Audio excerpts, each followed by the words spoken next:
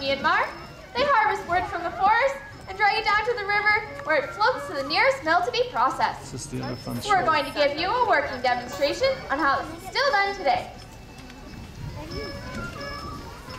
We'll slip the harness over his head, and George is going to pull this big log around the ring for us. Oh, Radziecki. As you can see, elephants are quite powerful, and they are preferred over heavy machinery due to the fact that they are more maneuverable. They can also reach those high mountainous regions that other tractors and vehicles can't while doing less damage to the surrounding forest. Now the harness George is wearing is much like the ones used today. This one is made of canvas, but they can also be made of leather. And it evenly distributes the weight across his shoulders and back, so it's no problem for George to pull this heavy load. Now George is going to push the log back to the front for us. You may have ah. noticed around the safari that some of our elephants have tusks. In the Asian species of elephants, only the males have the long ah. visible tusks, the females have a shorter version known as tushes. In the African species, both the males and the females have tusks. Elephant tusks are made of ivory, and ivory is extremely valuable. In recent years, the price of ivory has tripled.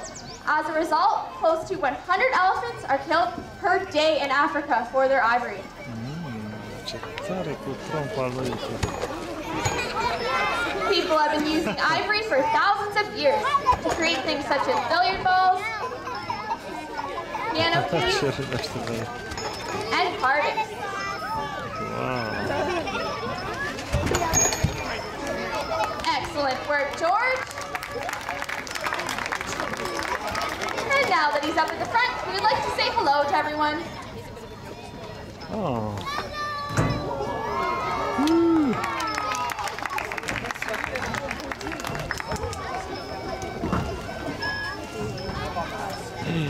Well, I think Chuck thinks it's his turn to prove that he too has amazing power and strength.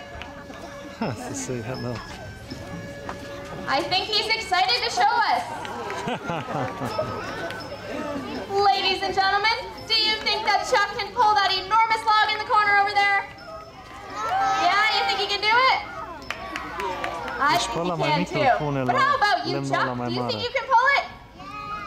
No? What if I give you a treat first? well, that didn't take much convincing.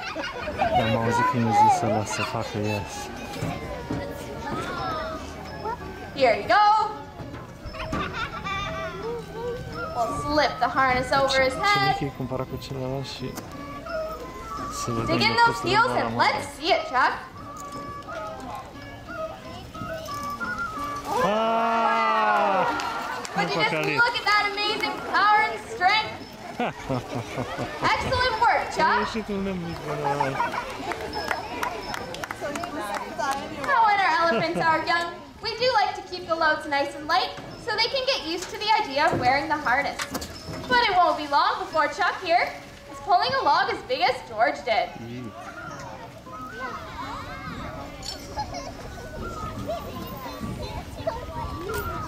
Fain, sta pleacă să-și dea la.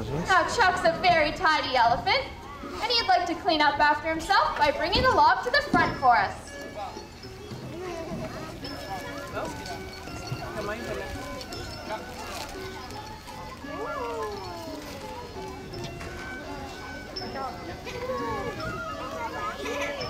Ah, non dințe.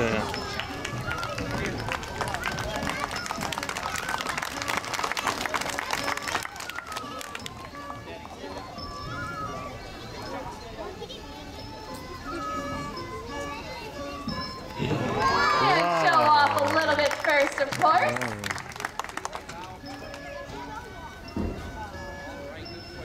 Thank you very much, Chuck. He's so proud of himself, he's hopping away. Now, one of the most unique features of an elephant is their trunk. An elephant's trunk contains over 150,000 muscles and ligaments, which is more than we have in our entire body. An elephant uses its trunk as a hand to pick up things such as food and water, but also as a nose to smell and breathe. We're going to prove to you just how dexterous an elephant's trunk actually is. At this time, I'd like to ask for a volunteer from the audience with a large coin, such as a loonie or a toonie, to meet me right here. First one here, ready with a large coin, can be my volunteer. Loonie or toonie would work perfectly. Coin. Okay, we can do both. Come on over, bud. Thank you. You can wait right here, okay? Going to give the coins to George's trainer. He's going to show George the coins and then drop it on the ground in front of him. He's going to use the finger-like projection at the end of his trunk to pick up the coin. Looks like he's got it. Can you put your hands out, buddy? This one's yours. There you go. Hmm, inte kolla på det så fin det är. There you go. Now we'll do the second coin. Can you put your hands out, buddy? Just like this? There you go. And he's got it.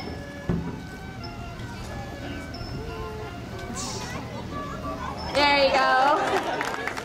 Now, if I were you guys, I would wash those coins off because they were just up an elephant's nose.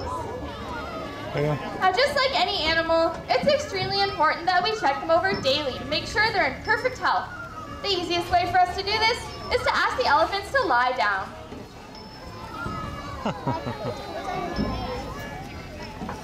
There we go. And now that the elephants are lying down, this gives their trainers the chance to check over their large surface areas. They'll check their feet, which consists of a one inch thick callus pad, for any thorns or stones that might be embedded, or to see if any filing needs to be done. They'll also check their skin, their ears, their mouths, and their eyes to make sure everything's nice and clean. Oh no! Looks like Chuck wants to check Charlie's feet out too. He just wants to make sure there's no stones stuck in your feet. Maybe we'll give him a treat. See if he'll let go. There you go.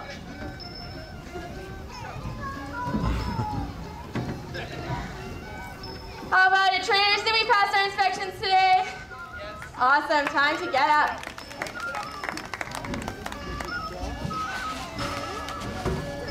Mm. Oh, what's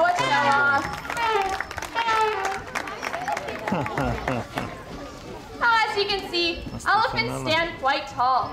A full-grown Asian elephant can stand nine and a half feet at the shoulder, so there are no obvious means of getting on and off. Therefore, we had to invent our own ways. The first way George and I are going to show you is called the front leg mount. I'm going to grab off his ear, and he's going to lift me up, just like that. And to get down, he's going to lift his foot back up. And slowly lower me to the ground. Now, George and I have always been a bit backwards, so the second way we're going to show you is called the back left mount. I'm going to grab onto George's tail.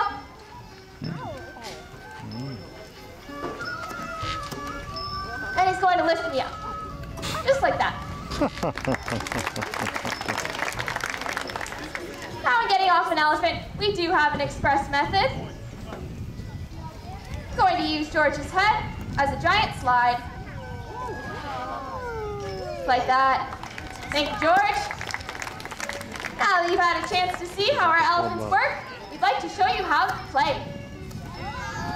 Chuck and I are going to have a one-on-one game of soccer.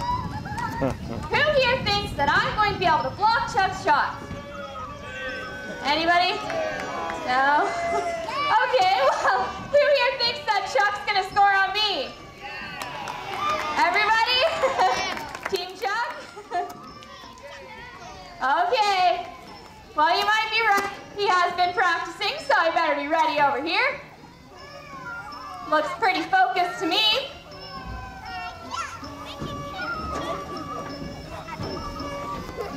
Pretty good kick. Oh! and he scored. As you guys were right. Now he's going to show us his amazing basketball skills.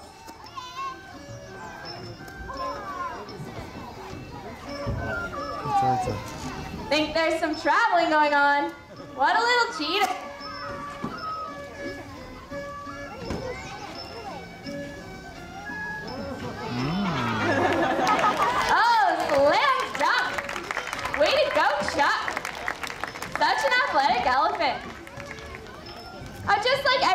Family, there's always at least one artist. The elephant family is no exception. Today, George is going to paint us a one-of-a-kind t-shirt, which you can purchase at our gift shop. He's going to use the finger-like projection at the end of his trunk to pick up the paintbrushes. Now, while George is doing that, I'd like to tell you a little bit more about elephants. They can live to be 60 to 70 years old. A full-grown elephant can eat 300 pounds of food a day. This consists of hay, fruits and vegetables, and various supplemented grains. Also drink up to 60 gallons of water. Now both species of elephants are in fact endangered. This is due to habitat loss, but also due to poaching for their ivory tusks. Now African Lion Safari does have a very successful breeding program. We've had 17 babies born here since 1991. Looks like George is all done. Very beautiful. I think he'd like to show off his work.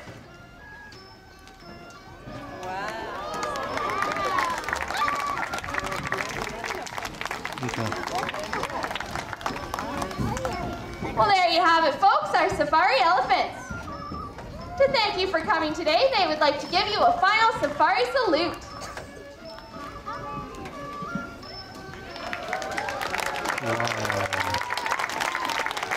And a bow for a job well done.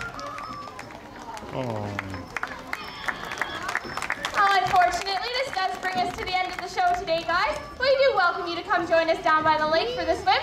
We also strongly encourage you to take a once-in-a-lifetime ride on an elephant located directly behind you. We hope that by meeting our elephants today and seeing how amazing they are and hearing about some of the challenges they face in the world today, that you appreciate them, love them, and help protect them for future generations. Thank you so much for coming to the show today, guys, and have a great rest of your day here at African Lion Safari.